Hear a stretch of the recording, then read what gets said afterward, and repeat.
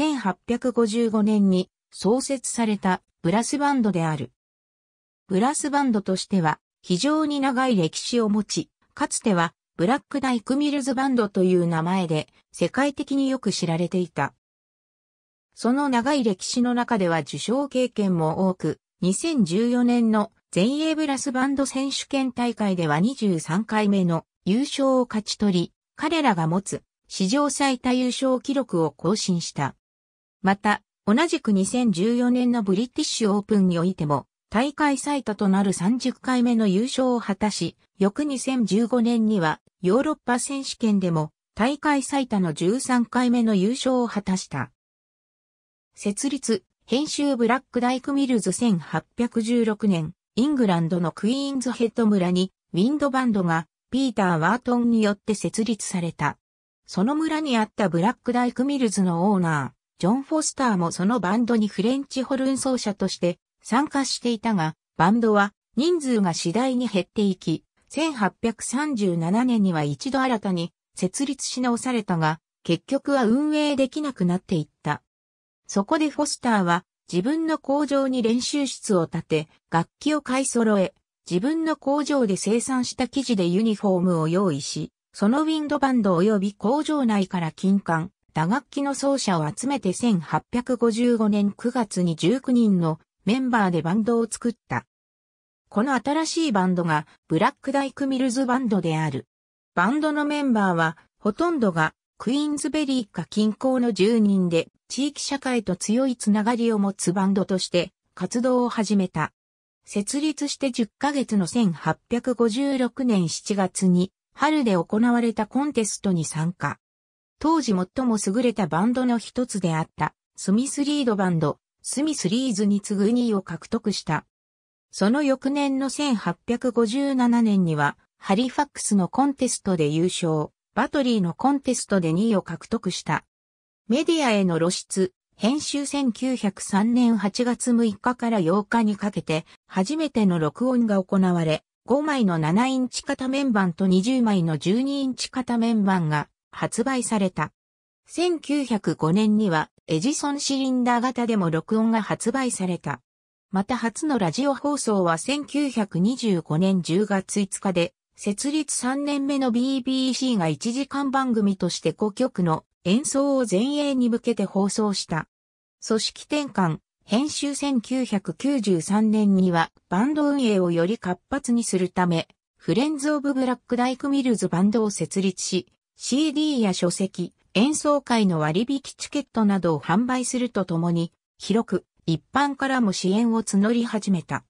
これにより、一般社会に対するバンドの露出が大幅に拡大することになった。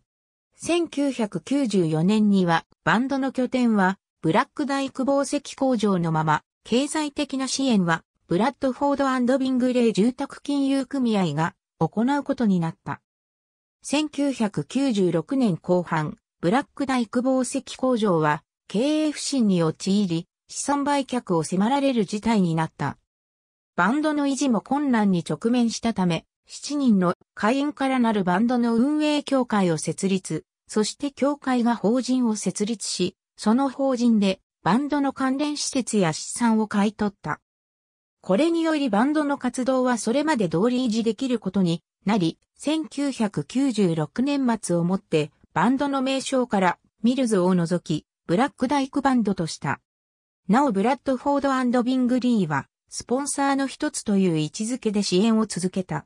バンドは設立以来、今日に至るまで、専用の練習室を持ち、途切れることなく、活動を続けている。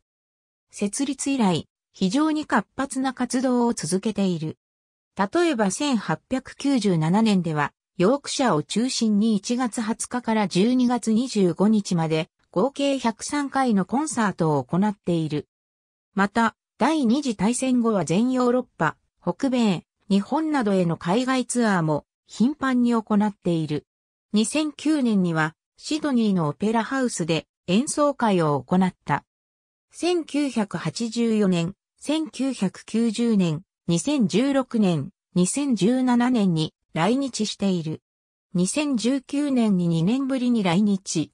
ブラックダイクバンドはヨークシャー地区、ヨーロッパ、ブリティッシュオープン、全英の4つの大会すべてで1位となる、グランドスラムを達成した史上初のバンドである。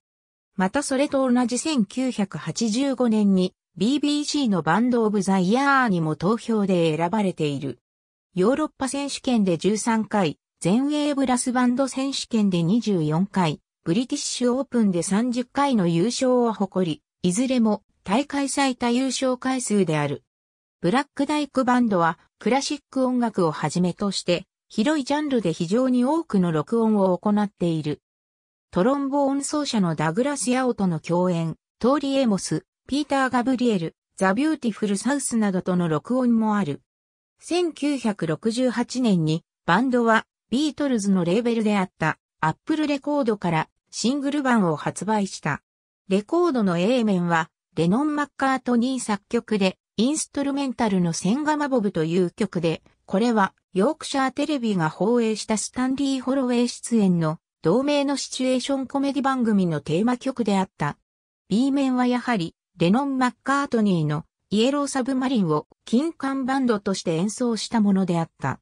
このシングルでは演奏者がジョン・フォスターサンズ・リミテッド・ブラック・ダイク・ミルズバンドで、指揮と編曲はジェフリー・ブランド、プロデュースはポール・マッカートニーであった。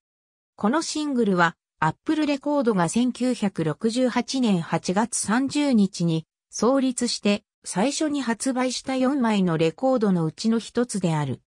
その後の1979年にもマッカートニーのバンドウィングスのラストアルバムであるバックトゥジエッグで録音に参加している。音楽監督、主席指揮者、ニコラス・チャイルズ現在の各パートの主席奏者は以下である。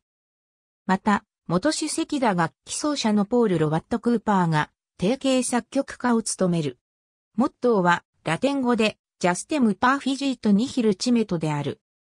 現在の主席指揮者はウェールズ出身でユーフォニアム奏者でもあるニコラス・チャイルズ博士である。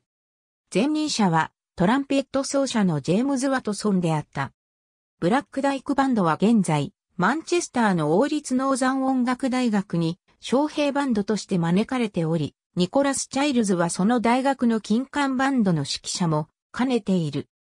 各選手権における輝かしい成績からギネスブックに世界で最も成功したバンドとして登録されている。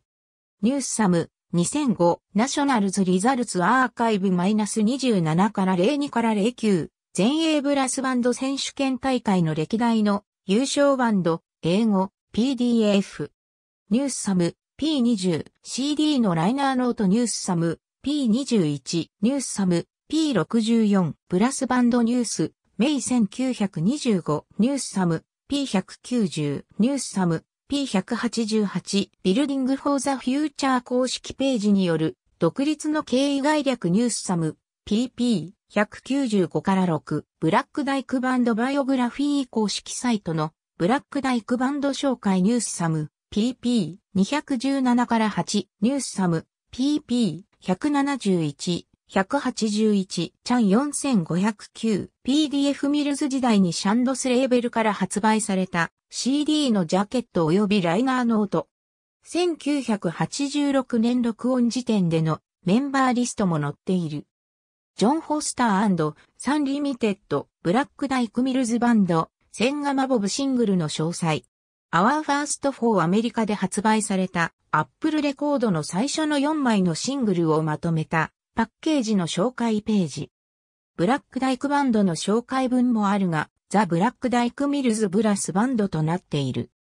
フリーで配布している携帯電話用の待ち受け画像。ありがとうございます。